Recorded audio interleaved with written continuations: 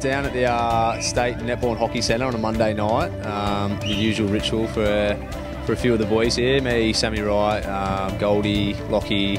Normally have LA down here as well, um, Robbie Tarrant. We're down watching a bit of, um, I don't know what section netball it is, but they won the grand final last year, so they'll be up to the next level. Um, on the outdoor courts here, so it's a little bit chilly with the wind, but um, they got a pretty good lead at the moment, the, the better halves. You know, it's good for them to get out there and have some fun, and I think they enjoy the support from, from the boys. Kirsty actually said she gets a bit of white line fever. Do you think she gets quite competitive out there? Yeah, she's a genuine psycho out there. I, I, I think some of the boys said I need to take some tips from her, but nah, you know, it's a good spot for her to get out, and stay active, and she's actually pretty good at it too. We all think that um, Prue, Lockie's girlfriend, plays a lot like Luke Hodge. She's just swing both ends, pretty tough and courageous, so she's a real leader out there.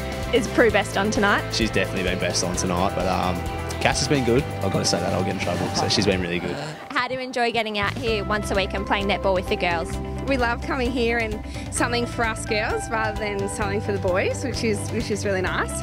Um, family affair, we all try and bring the kids along and um, just have a bit of fun, nothing serious. Lockie, how do you go looking after Ryder for the whole game? Yeah, it's pretty tough. Uh, I probably watched about two minutes of the actual game, so he was just running around, and we watched uh, every other game here, and um, he runs out on the court, but um, yeah, I didn't realise how hard it was to look after a kid. It's definitely nice to have them um, here and and support us and, and, yeah and see what it's like for us um, each week